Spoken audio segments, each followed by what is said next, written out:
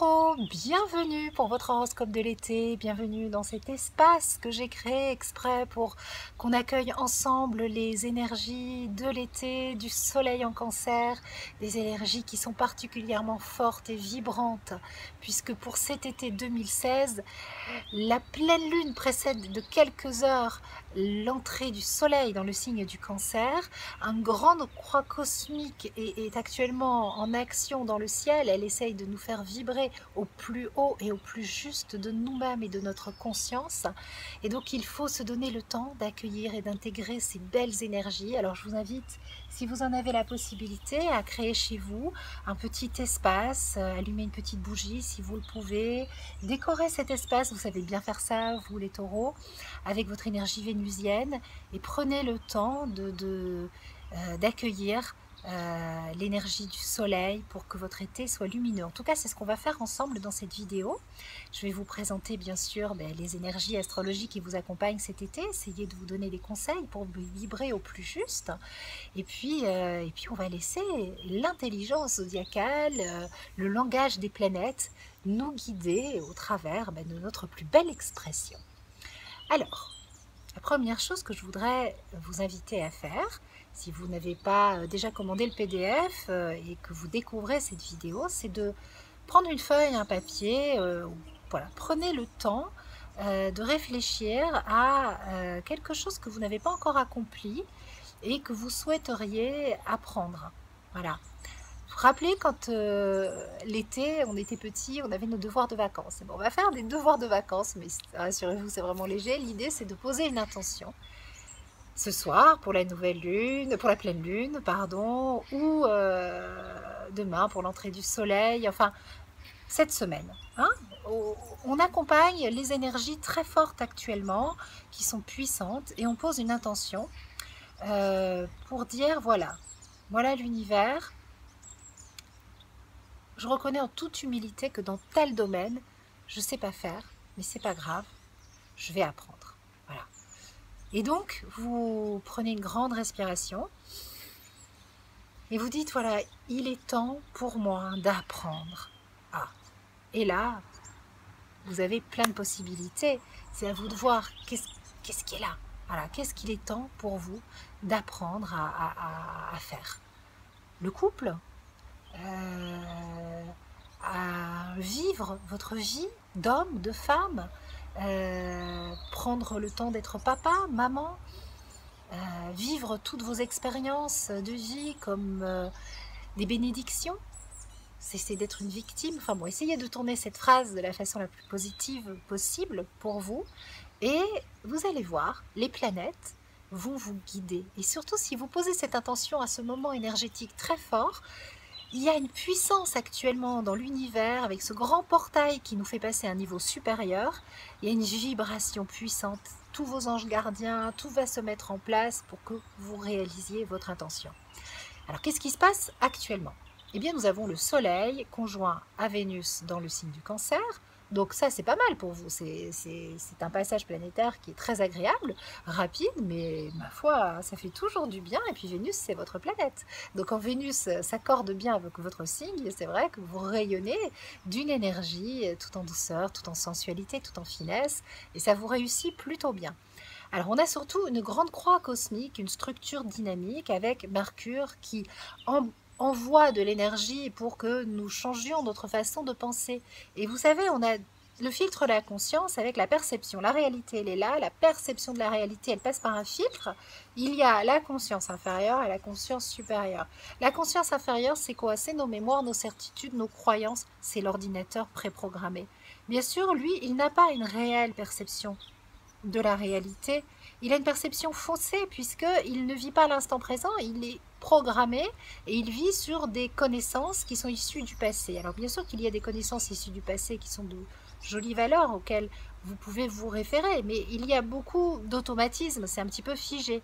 Et puis ici, il y a le filtre du mental supérieur qui est directement relié au cœur, à l'âme, et qui vit l'instant présent et qui en fait euh, n'a pas la connaissance du futur mais sait qu'il peut le créer et a une totale confiance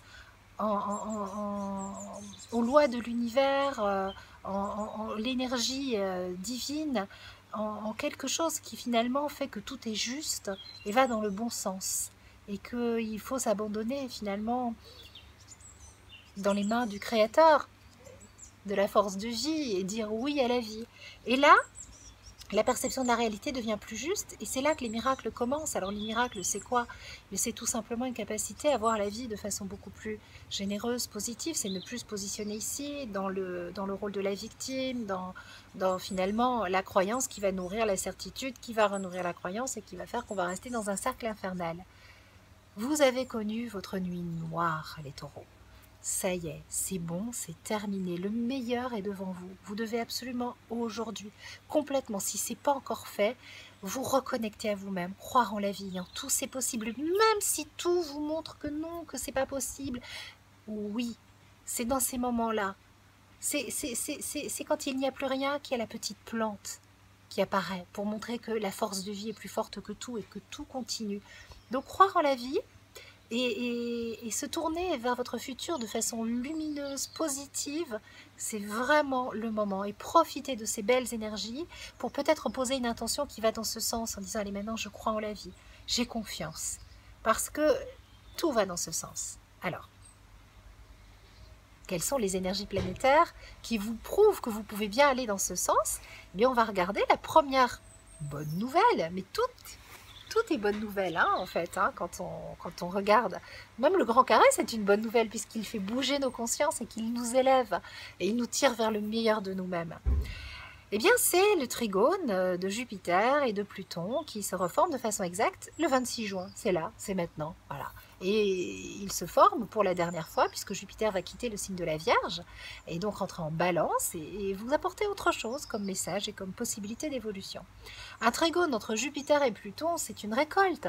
C'est une récolte, c'est la possibilité d'aller au plus loin et au bout de ses ambitions, c'est une réponse positive sur le plan des enjeux matériels. Euh, Jupiter, c'est le dieu des richesses des richesses matérielles, mais aussi de nos ressources intérieures. Donc c'est la possibilité d'aller contacter sa puissance et sa force intérieure. Jupiter est d'une grande puissance, Pluton aussi. Alors bien sûr, cette force, il ne faut pas en abuser, il ne faut pas en faire n'importe quoi, mais c'est acquérir la maîtrise. La maîtrise et non pas le contrôle. Très important. Nous avons Vénus qui est dans, votre, euh, dans le signe du cancer, euh, Mercure aussi, au trigone de Neptune des aspects qui vous permettent euh, ben, de jolies euh, inspirations. Euh, si vous avez envie de vous lancer dans un projet très créatif, eh bien c'est vrai que voilà cette fin juin, début juillet ne va pas ne va pas tarir au niveau inspiration, au niveau idée, au niveau rêverie qui vont vous apporter des possibilités. N'oubliez pas que la pensée précède la forme et que tout ce que vous allez tisser dans le monde du rêve, tout ce que vous allez créer en énergie euh, doit se concrétiser, mais qu'il faut d'abord y penser et de façon très positive dans, vos rêves. Vous êtes le, le, signe finalement qui a la possibilité de matérialiser. Et le cancer est un signe qui rêve beaucoup. Allez dans le sens du soleil en cancer pour vibrer de cette énergie de rêve et l'amener dans la matière.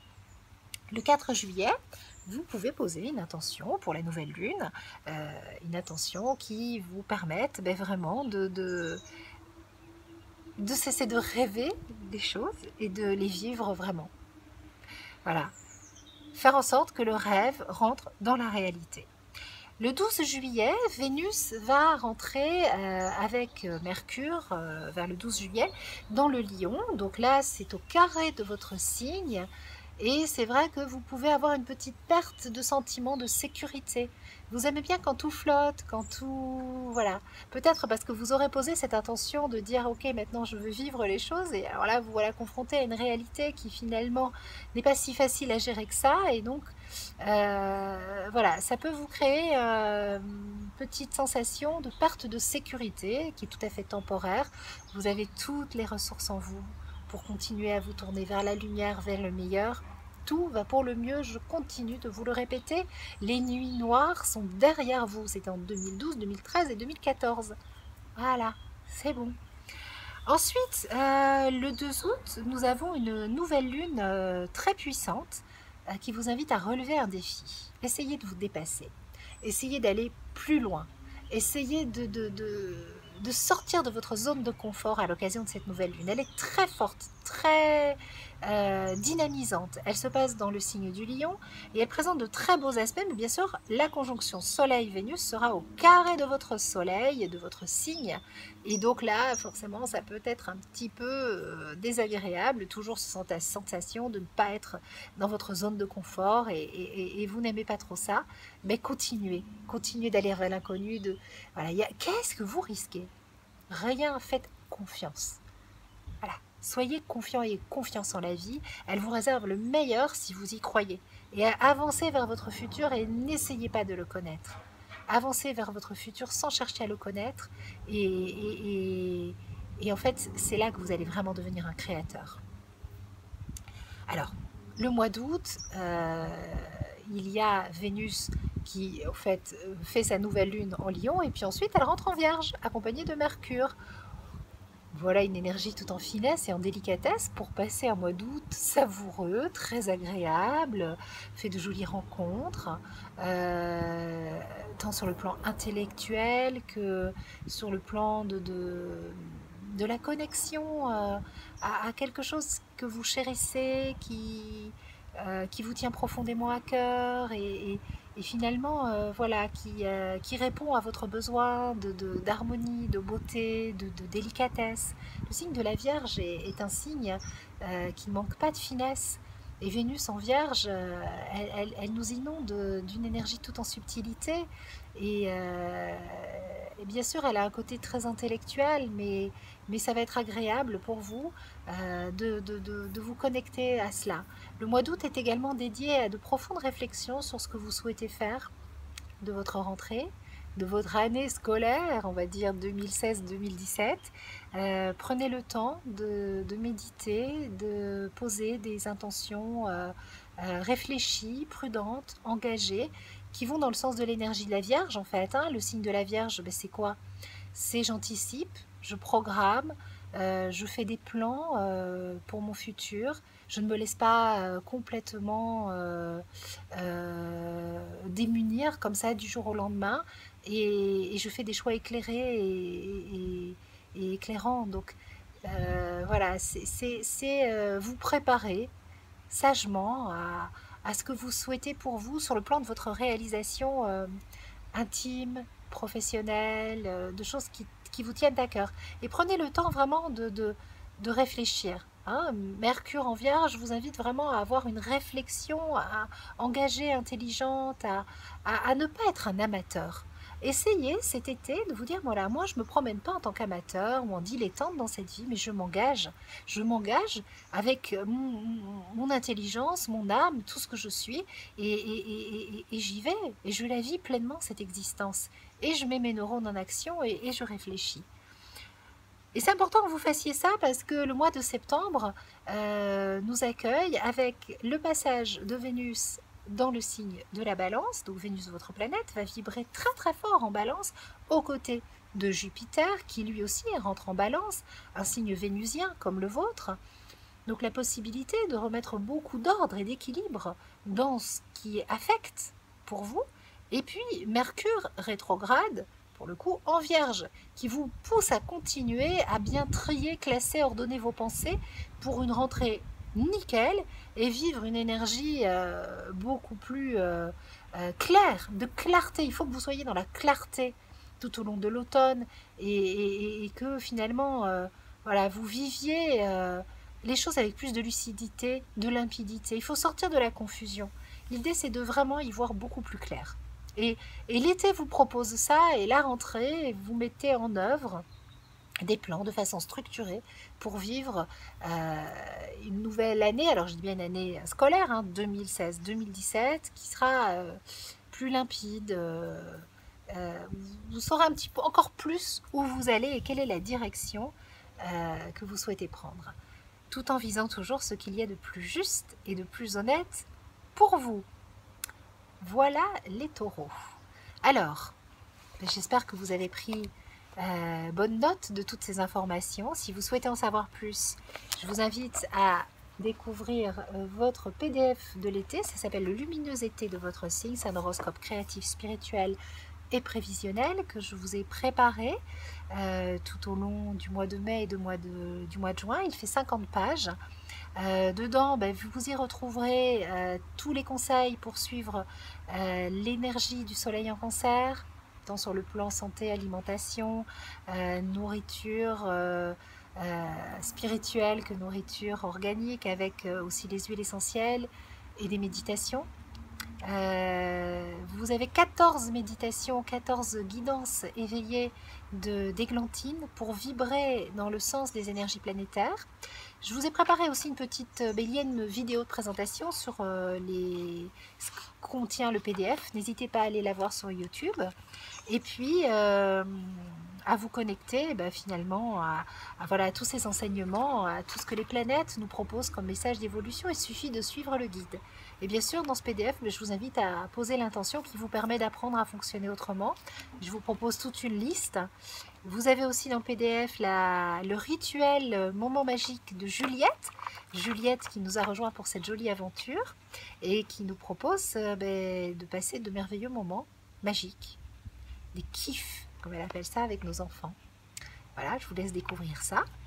Et, euh, l'idée, c'est de, ben voilà, de, ressortir, euh, d'entrer dans la lumière avec ces énergies très fortes et de ressortir encore plus lumineux. On va terminer cette vidéo avec un tirage euh, du tarot des besoins, que j'adore, parce que l'été, c'est le moment de se reconnecter à ses besoins. Et donc, je vais tirer une petite carte pour voir quel est le besoin capital qui vous accompagne, c'est quoi? C'est quoi le besoin pour vous, les taureaux, cet été? Allez, je suis attirée par cette petite carte. Thérapie physique. Le corps. Voilà. Thérapie physique. Le corps, euh, c'est important. Prenez soin de votre corps. Euh, votre véhicule physique accueille l'énergie de votre âme et vous avez besoin d'un bon véhicule pour avancer sur ce chemin de la vie. Honorez ce corps physique et prenez-en soin. Je vous fais des gros bisous les taureaux et je vous retrouve à la rentrée pour partager de nouvelles vidéos. Oh, il y aura des petites vidéos pendant l'été, mais pour partager de nouveaux projets et, et de délicieux moments. Passez un très très bel été plein de lumière. Ciao